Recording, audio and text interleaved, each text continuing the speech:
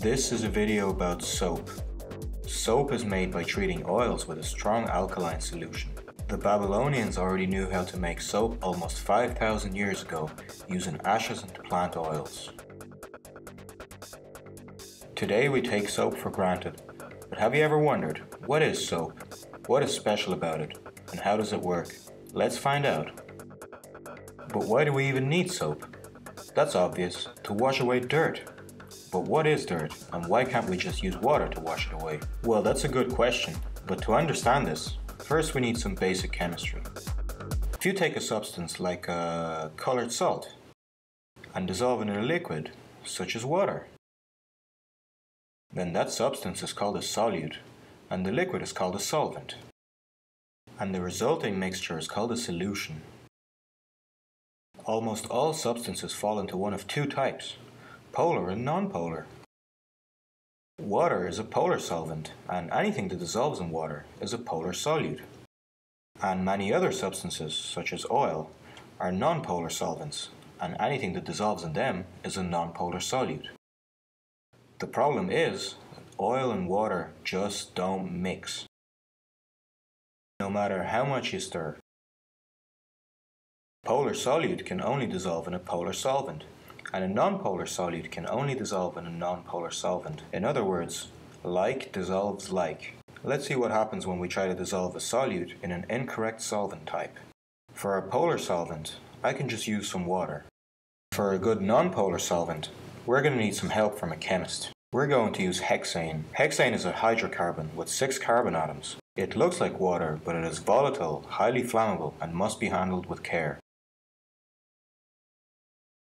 You already saw what happened when we mixed the colored salt with water. The salt dissolved in the water because salt is a polar solute and water is a polar solvent. Now we're going to repeat this experiment using different solutes and solvents. Now we're going to try using hexane instead of water. Salt is a polar solute, but hexane is a nonpolar solvent.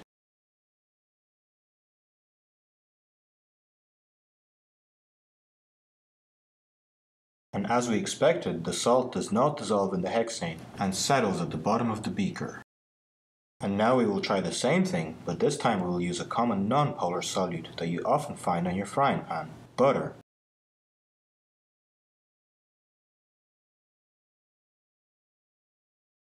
And as we suspected, the butter does not dissolve in water. And just like with the salt, we will also test our non-polar solute with hexane.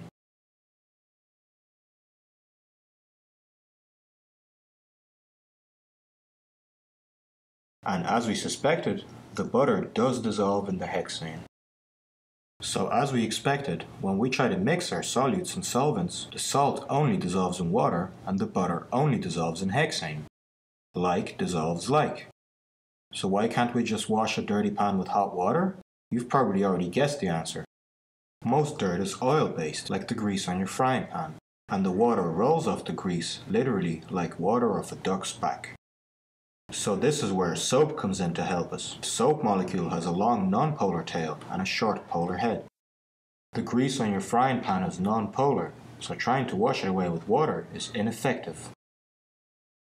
When we add soap to the grease, the non-polar tail of the soap molecule attaches to the dirt, forming a micellar bilayer.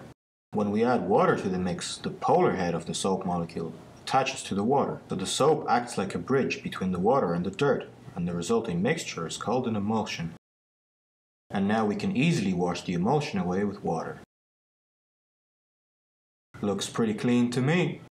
So let's put it to the test. You think 5,000 years of technology can help us wash the dirt off this car? Let's find out.